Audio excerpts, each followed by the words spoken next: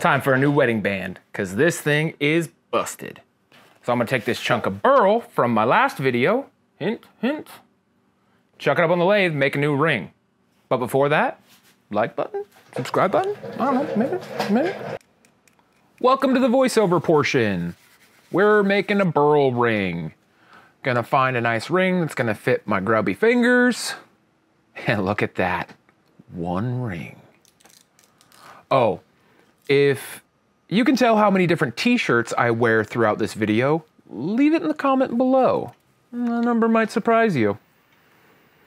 So, just getting it centered here, making it a circle, you know how wood lathes work and they spin and then stuff turns into circles. That's what we're doing here.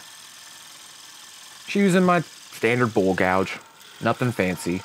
Really, there's nothing too fancy about making a ring on the lathe.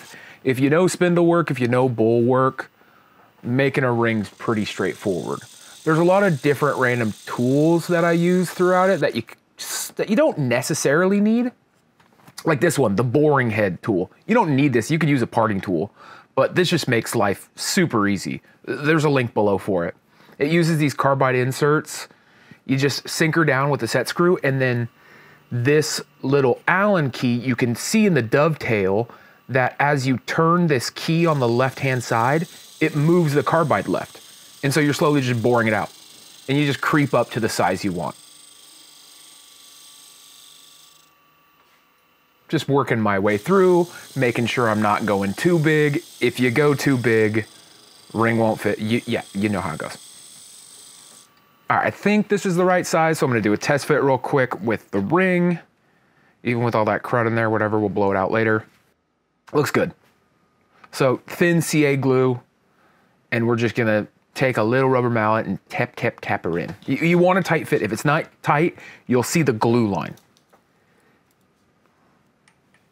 All right, gonna use the ring mandrel here. Pretty basic ring mandrel. Two bushings and a lock nut. Keeps it all in place. Different bushings for different size rings. Gotta pay homage to Hand Tool Rescue. This fits all wrench is amazing. Check out Eric's page. I got a link below.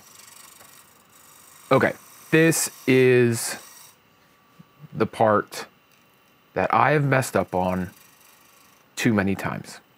I will not admit it. But you just want to creep up on the sides with a skew. I mean, any tool. I use the skew. And then what I like to do is once I get close to the final like diameter, I creep up on it. I'm using 120 grit here. I'm gonna work my way up after I get the shape I like with the 120 and get the thickness I like. And then I'll just work up to 400. Here's the 400 here. I'm just going until I like the sheen and, and the way it looks and the overall shape. Once I'm done with the 400, we're just gonna move on to CA glue on a little paper towel. Just a little dollop, spritz it with the activator, and go until you like the sheen. And hey, I like the sheen. I think it looks nice. Gonna test it on the finger for the final looks, and it's awesome. Thanks for watching. We'll catch you on the next one.